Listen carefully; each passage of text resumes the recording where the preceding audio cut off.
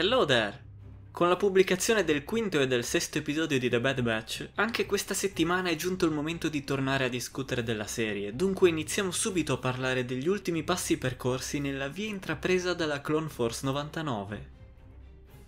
Il quinto episodio, intitolato Rampage, tiene fede al tradizionale inizio che ha contraddistinto la serie ormai già per quattro episodi consecutivi, mostrandoci i Bad Batch in viaggio a bordo dell'Evok Marauder. Qui Omega riceve il suo comlink, una versione riadattata di quello che un tempo era appartenuto a Crosshair, e si diverte a giocarci mentre il gruppo si dirige su Ord Mantle, dove sperano di trovare Sid, un vecchio alleato degli Jedi che a quanto pare potrebbe aiutarli a rintracciare Fennec Shand e i suoi committenti. Non appena arrivano sul luogo, inizio a pensare che chiaramente la Lucasfilm Animation non volesse buttare niente del materiale rimasto inutilizzato con la cancellazione di molti archi di Clone Wars. Questa infatti, dopo Pantora, è la seconda volta che vediamo un pianeta originariamente disegnato per la prima serie del team. Era pieno di concept art pronti all'uso e modelli ancora grezzi ma già esistenti. Pantora è apparsa solo marginalmente in The Clone Wars, ma sarebbe dovuto apparire molto più ampiamente nell'arco narrativo dedicato ad Asajj Ventress e Quillan Voss, riadattato poi nel libro L'apprendista del lato oscuro, mentre Ord Mantle avrebbe visto il suo debutto negli episodi dedicati alla lotta sostenuta da Maul e dal collettivo Ombra contro i separatisti, eventi riadattati poi nel fumetto Figlio di Datomir.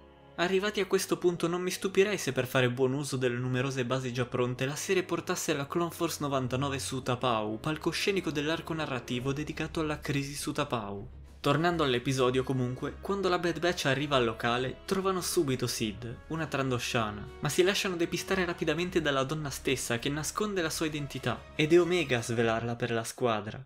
In una stanza adornata da molteplici trofei di caccia e pezzi da collezione tra cui numerose armi ed elmi di vario genere, Sid lascia che loro chiariscano il motivo della visita e pur non avendo le informazioni che cercano, o semplicemente non volendole offrire gratuitamente, stipula un accordo con loro. Se salveranno per lei una bambina di nome Muci da un gruppo di schiavisti zagheriani, allora lei farà il possibile per dare loro risposte, insieme al 30% del compenso offerto per il salvataggio da chi lo ha richiesto. Il gruppo accetta senza neanche provare a contrattare e si prepara a partire. È curioso pensare che gli Jedi possano aver lavorato con un individuo losco come Sid, ma alcuni membri dell'ordine come Quinlan Voss svolgevano diversamente dagli altri lavori sotto copertura nel sottomondo criminale, persino durante le guerre dei cloni. La Clone Force 99 però non è abituata a simili situazioni, si sono già dimostrati ingenui in molte occasioni e dovranno crescere rapidamente per evitare di essere pugnalati alle spalle. Durante il loro percorso per l'area della missione, comunque, vediamo Wrecker nuovamente tormentato dal mal di testa, come a ricordarci del problema legato al chip,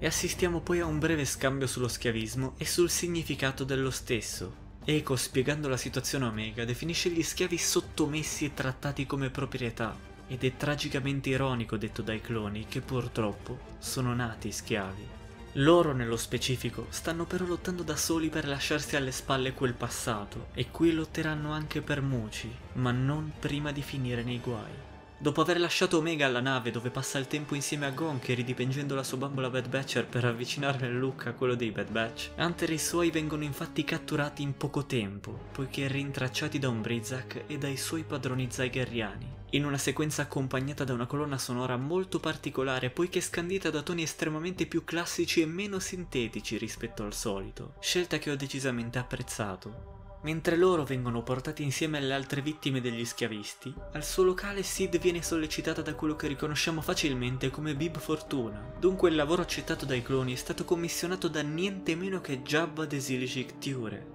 al contempo, sull'Evok Marauder, Omega è costretta a fuggire quando due Zagheriani raggiungono la nave per ispezionarla. Dopo aver rintracciato i suoi amici scoprendo che sono stati catturati, è lei a doverli mettere in salvo. Raggiungendo l'area, comunica con Hunter utilizzando i gesti come i suoi compagni, e mentre lo schiavista Rene inizia a esaminare quelli che vede come i propri prodotti, Omega si fa strada tra le rovine della zona. Reni, con un monologo atto a intimidire gli schiavi, espone a noi uno dei tanti cambiamenti di cui la galassia è vittima per via dell'ascesa dell'impero. Infatti, così come molte nuove regole e leggi nascono, altre vengono dimenticate e lo schiavismo, un tempo bandito dalla Repubblica ma comunque mai scomparso del tutto, ha spazio per tornare a fiorire approfittando della situazione. Lo Zygarriano, parlando, rimanda proprio alla caduta della struttura detentiva un tempo situata su Cadavo e distrutta dalla Repubblica durante le guerre dei cloni, ma purtroppo sappiamo che negli anni successivi lo schiavismo riuscirà a farsi strada anche al di fuori dei luoghi da sempre legati alla tratta di persone gestita dal popolo di Zygerria.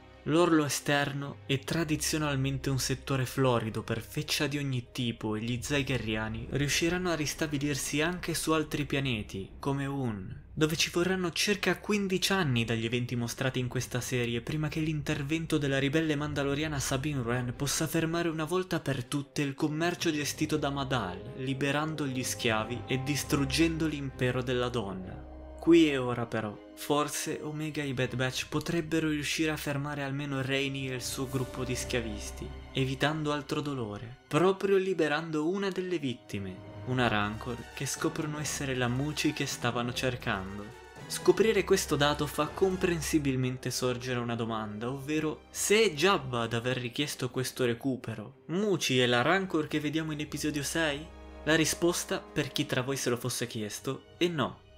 Il povero Rancor che Luke ucciderà nel palazzo di Jabba è un maschio e il suo nome è Patisa, dunque a meno che non abbiano scelto di sovrascrivere ciò che già sappiamo al riguardo, non sono lo stesso animale. Ciò non di meno, pensare che sarà Jabba a gestire Muci lascia ugualmente un velo di tristezza alla vista di questa potentissima cucciola di Rancor, poiché la vita al servizio del signore del crimine è nefanda e Patisa potrebbe essere il successore della giovane creatura che vediamo qui. I Rancor, come ho discusso nel video dedicato alla lore e alla storia completa del pianeta Datomir, di cui sono nativi, vengono visti come esseri brutali perché la loro immagine è stata piegata da chi li ha catturati per intrattenimento e ostentazione, proprio come l'At, ma in realtà, nonostante siano animali forti e senza dubbio in grado di difendersi, usualmente sono pacifici, molto sociali e in parte senzienti, una vita passata in una grotta grande a malapena quanto basta per contenerci sarebbe una tortura in grado di rendere aggressivo e famelico ognuno di noi. In questo momento comunque Muci è libera e può dare sfogo alla sua forza con cui sbaraglia facilmente gli Zygerriani dando un grande aiuto ai membri liberati della Clone Force 99 e mentre Hunter si occupa di Reni, i prigionieri ora liberati vengono messi in salvo da Echo e Omega che nel percorso raccoglie uno degli archi energia utilizzati dagli schiavisti ottenendo un secondo pezzo di equipaggiamento durante questo singolo episodio. Ora è pronta a comunicare e armata e io non vedo l'ora di vederla imparare a utilizzare e sfruttare al meglio tutti questi nuovi mezzi. Muci, ancora scatenata, mette in fuga persino il Brezza, che ai Bad Batch non rimane che occuparsi di lei per portarla a destinazione, compito che ricade ovviamente su Wrecker, che la combatte amichevolmente fino a stremarla. Concludendo la missione, il gruppo la porta al locale di Sid dove Bib, impaziente di rivedere la Rancor, era già arrivato per mettere fretta alla Trandosciana. Soddisfatto, il maggiordomo Twi'lek paga il dovuto e porta con sé Muci, dunque siamo costretti a salutarla, sapendo purtroppo che difficilmente avrà una vita felice. Sid, leggermente sorpresa dal loro successo, invita Hunter a raggiungerla nel suo ufficio e condivide con lui ciò che ha scoperto su Fennec, ovvero il suo nome che noi già sapevamo e qualche dato interessante anche riguardo del suo incarico. Lei è nuova nel settore, pur avendo già mostrato grandi abilità, e la taglia che la spinge a dare la caccia a Omega non è stata resa disponibile dalla Gilda, è un incarico diretto. Una volta esposte queste informazioni, alludendo alla possibilità di offrire altri lavori, la donna consegna al leader della squadra la sua quota di crediti, ma prima di lasciarlo andare ci permette di scorgere il marcio che ovviamente troveranno sempre lavorando in questo settore. Minacciandolo indirettamente, chiarisce che sa bene quanto possano valere lui e i suoi compagni se qualcuno del calibro di Shand sta seguendo le loro tracce, ma afferma anche di saper custodire un segreto. Ed è così che si conclude l'episodio. Un episodio che mi ha dato l'impressione di averci offerto l'ultimo dei tasselli necessari per far proseguire la serie con più libertà, stabilendo che proprio grazie al contatto con Sid, Hunter e i suoi potranno vagare per la galassia offrendoci diversi scorci in base ai lavori intrapresi e rispettando così le premesse della serie. Il sesto episodio, intitolato The Commissioned, prende il via mostrandoci Ord Mantel e probabilmente sarà questa la nuova tradizione ora che hanno stabilito un punto d'appoggio. Nel locale di Sid, Eiko addestra Omega nell'utilizzo dell'arco energia. La bambina non è ancora molto abile, ma ci ha già dimostrato di saper imparare in fretta e il suo fratello le dà un consiglio prezioso molto vicino a quello che avrebbe offerto uno Jedi. Deve imparare a tagliare fuori le distrazioni. Il tempo per l'addestramento comunque finisce per ora, si dà un nuovo lavoro per loro, il recupero di un droide tattico da un impianto di smantellamento su Corellia. Anche se Hunter e i suoi non hanno ancora deciso con fermezza di lavorare per la Trandoshana, lei insiste dando per scontata la loro collaborazione. E dopo aver dato qualche suggerimento a Omega per aiutarla nell'utilizzo dell'arco, mostrando al contempo la sua abilità, li lascia andare. A bordo dell'Evoc Marauder, per arrivare a Coronet City senza problemi, Tech si magnetizza un tetraedrico trasporto per container con i sistemi al minimo, la stessa tecnica utilizzata su suggerimento di Hondo Naka dall'equipaggio della Ghost quasi due decadi più tardi per raggiungere Lothal in vista della sua liberazione. Arrivati a destinazione, i membri della Clone Force 99 si affrettano a raggiungere il sito di smantellamento, pur se con qualche difficoltà nel caso di Wrecker, che come avevamo già scoperto in Clone Wars durante la missione su Scacco Minor, soffre l'altezza. All'interno dell'impianto la vista è davvero triste. Centinaia di droidi da battaglia vengono ammassati come rottami e fusi completamente, quando moltissimi sarebbero semplicemente in grado di riprogrammarli, permettendogli di vivere finalmente un'esistenza libera dal condizionamento separatista. Molti casi lo hanno dimostrato, come Buzz che ha combattuto per sua scelta al fianco di Rex e Obi-Wan Kenobi, o Roger, divenuto parte della famiglia Freemaker dopo il suo ritrovamento su Ord Teleron. In questo caso, comunque, i Bad Batch sono in cerca di un singolo modello e non certo per fare amicizia, ma solo per le informazioni che contiene, obiettivo della loro missione. Mentre i soldati neutralizzano gli operai del luogo, Omega riesce a rintracciare le parti del droide tattico, ma prima che i suoi compagni possano raggiungerlo, qualcuno lo recupera e non appena lei scatta con l'intento di intercettarlo, viene fermata da una grande sorpresa che non mi aspettavo assolutamente, Rafa Martez.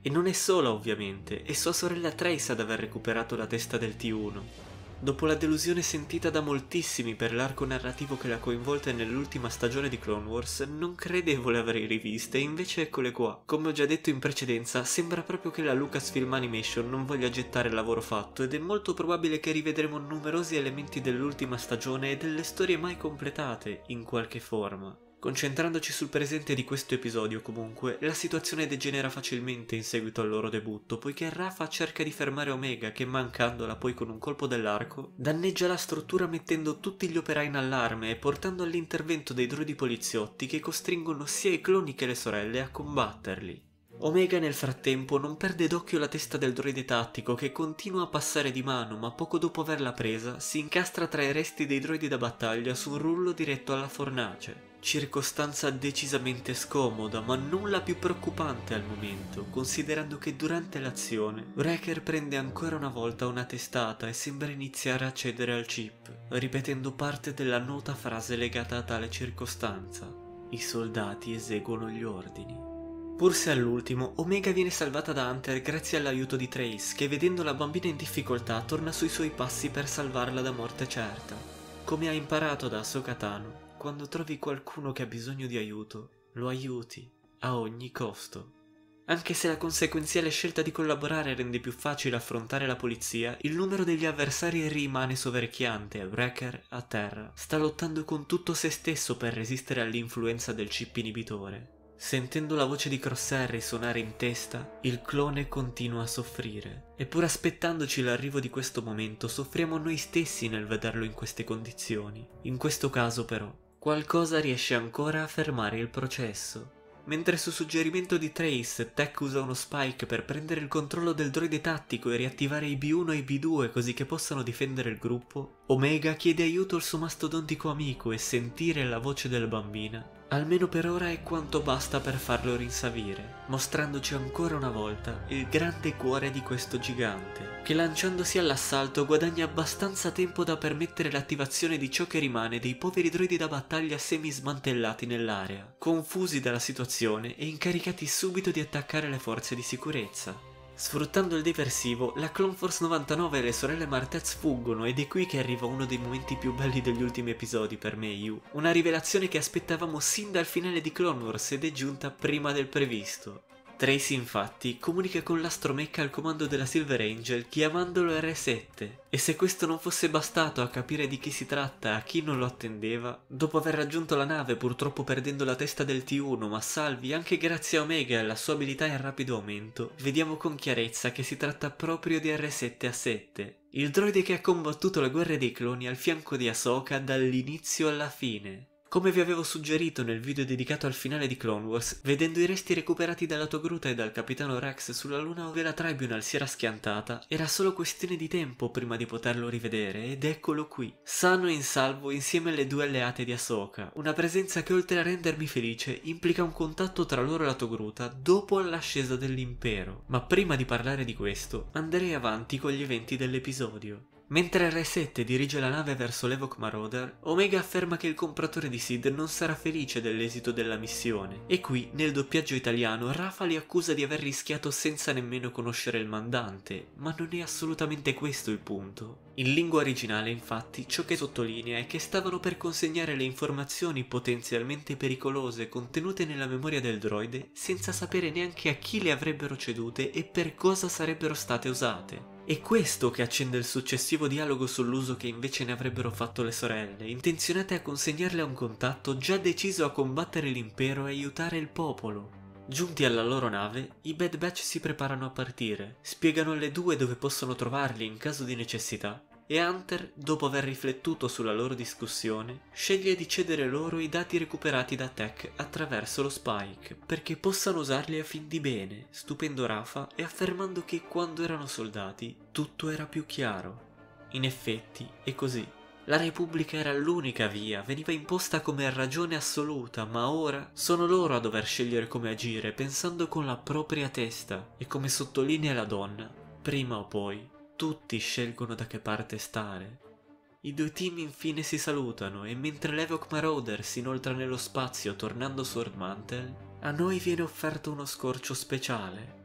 Rafa chiede a R7 di aprire la comunicazione con il loro contatto, che nel doppiaggio originale viene chiaramente indicato come un maschio, e dopo aver esposto il successo della missione, pensando possa essere di interesse condivide l'esperienza avuta con i Bad Batch, dicendo che sa dove trovarli. L'episodio lascia un velo di mistero sull'identità del contatto, ma considerando che le sorelle Martez sono insieme a R7 che è stato salvato da Ahsoka e Rex e trattano dati utili a combattere l'impero recuperati dalla testa di un droide tattico di serie T come quella che in Rebels vedremo consegnata allo squadrone Phoenix perché rintraccino Rex, Wolf e Gregor, allora a meno che non vogliano sorprenderci con qualcosa di assolutamente inaspettato, riesco a puntare il dito contro pochi dei più noti. Il senatore Bail Organa, o eventualmente proprio il capitano Rex, anche se faccio fatica a immaginarlo come contatto intento a lottare l'impero, visto che fra qualche anno si godrà per un po' la pensione su Silos. Per ora possiamo solo mettere in pausa l'entusiasmo però, perché non abbiamo modo di sentire la sua voce, neanche modificata. Dunque consci di dover attendere per nuove rivelazioni, abbiamo assistito alla conclusione dell'episodio e ci prepariamo ai prossimi passi nella via della Clone Force 99. Questi erano il quinto e il sesto episodio di The Bad Batch, sempre più incalzanti e interessanti, ma anche in grado di farci ridere a tratti. Solo che non mi soffermo su questo aspetto nel narrare, perché difficilmente riuscirei a riproporlo adeguatamente in un contenuto di questo tipo. Dopo questi ultimi due episodi, comunque, direi che abbiamo quasi un nuovo punto di partenza per la stagione. Le fondamenta infatti sono ormai tutte stabilite, mancava il ritrovo fisso per dare il via ai prossimi viaggi e ora abbiamo anche quello grazie a Sid e al suo locale Sword Mantle. Ed è un bene che il team riesca a far convivere così bene elementi nuovi ed elementi noti. Proprio basandosi su questo principio hanno voluto più volte dirottare le nostre aspettative e previsioni durante questi episodi ed è stato divertente. Non ho mai creduto per esempio che Muci potesse essere la giovane Fallì in cui il team continuava a rivolgersi con quel nome, ma non credo che la scelta della razza fosse casuale, poiché scoprendo che Jabba era il committente, potevamo credere si trattasse di un rapimento per interessi personali, più che di un vero e proprio salvataggio, visto che spesso la razza in questione è fortemente legata al sindacato criminale del Sole Nero, rivale del cartello degli Hat. Possiamo fare un discorso simile anche per Corellia, che essendo il pianeta natale di Han Solo rendeva semplice pensare che avremmo potuto vederlo sotto agli abiti da operaio, magari insieme a Kira. Dopotutto gli eventi esposti nelle sequenze iniziali di Solo sono ambientati appena 5 anni dopo rispetto a The Bad Batch, e sono abbastanza sicuro lavorassero già insieme. Oltretutto, la Lucasfilm spesso sembra divertirsi a far riemergere determinati personaggi in diverse opere e media nello stesso periodo, e Kira è appena tornata nella storia galattica emergendo nel fumetto War of the Bounty Hunters. Spero di non avervi annoiati esponendo questi intrecci possibili, ma tutto ciò era solo per fare un plauso alla scrittura sempre chiaramente affidata a mani esperte che sanno come giocare con la lore e la storia della galassia lontana lontana, per tenerci sulle spine e sempre attenti agli eventi narrati in questa serie dedicata ai Bad Batch. Augurandomi che il contenuto vi sia piaciuto, io vi ringrazio per avermi seguito, vi do appuntamento al prossimo video e come sempre, che la forza sia con voi.